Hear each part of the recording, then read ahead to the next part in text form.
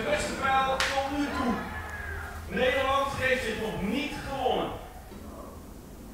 Het is voorbij. Als jij zit te kijken, eh, ben je dan extra nerveus? Uh, ja, want je ja, als je zelf schiet heb je altijd zelf in de gaten wel hoe en wat. Maar als je zo kan kijken, dan ja, je, je weet niet wat de omstandigheden daar zijn of hoe het is of hoe, hoe spannend dat ze is. Dus het is heel erg lastig om eh, erachter, ja, achter de televisie te zitten, zeg maar. En je hebt geen enkele invloed natuurlijk. Nee, helemaal niet. Je kan een beetje schreeuwen vanuit eh, hier, eh, maar of dat gehoord wordt, weten we niet. We hopen het natuurlijk wel, maar het is gewoon heel erg lastig om vanuit hier eh, ja, gewoon te kijken. Ja, en hoe dan ook, zilver is een geweldige prestatie. Hè? Ja, zeker. De, ja, ik ben gewoon super trots op haar. Eh, ze gingen voor een medaille en eh, ja, dat hebben ze gehaald. Dus dat is echt gewoon super top.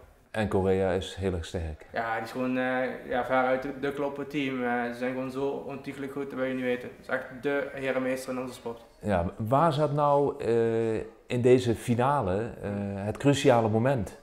Ik denk toch de tweede set. Ze, ze, sloten daar af met, met een 8. Gaap schoot daar een 8. En volgens mij als ze daar een, een 10 had geschoten, was het dan...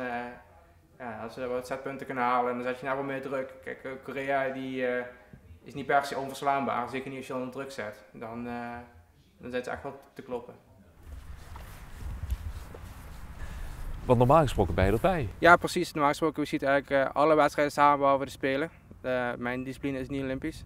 En omdat ja, natuurlijk van Japan mag geen, geen toeschouwers, ja, was gewoon niet mogelijk.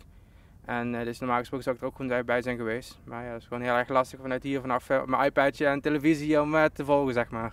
Nou is dit voor uh, Gabriela en uh, Steve Weiler meteen ook de eerste Nederlandse medaille. Uh, dat betekent gewoon ook status. Ja, precies. En dat is eigenlijk wel dat we denken waarom het handboogschieten op de Spelen altijd zo groot is. Omdat het altijd een van de eerste toernooien is waar medailles en wordt gehaald op de, of kan gehaald worden op de ja. Spelen. Dus altijd wordt best wel veel aandacht aan besteed.